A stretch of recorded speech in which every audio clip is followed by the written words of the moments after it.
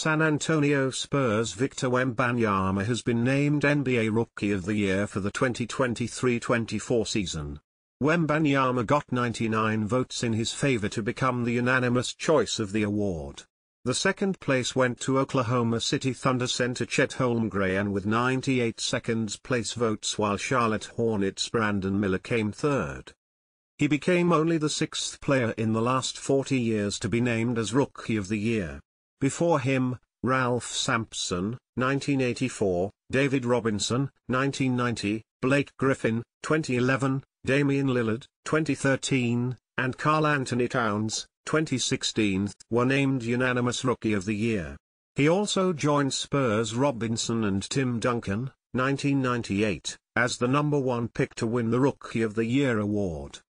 Also read, playoffs, officials admit wrong decision on critical call during Knicks vs Pacers Game 1.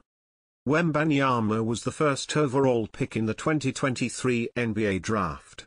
He played in 71 games this season, averaging 21.4 points, 10.6 rebounds, and 3.9 assists per game. Wembanyama also became only the second rookie in the history of NBA to lead the league in blocks since Alonzo Mourning and O'Neal in 1992-93. He registered 250 blocks to his name in the season. My goals were always to help my team as best as I could and get better as the year went on, Wembanyama said from San Antonio on TNT after the award. I knew in order to do this I had to be individually good on the court and dominant. So, it was a huge thing for me and a big thing to get. It's always been really important and I'm glad it's finally official, he added.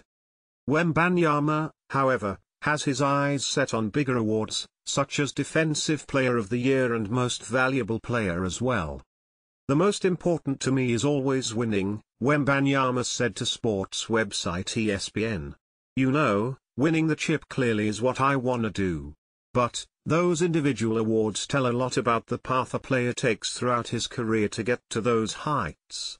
They are important to me and I'm dedicated to winning some. His team, however, had a poor season which saw them lose 60 of their 82 regular season games.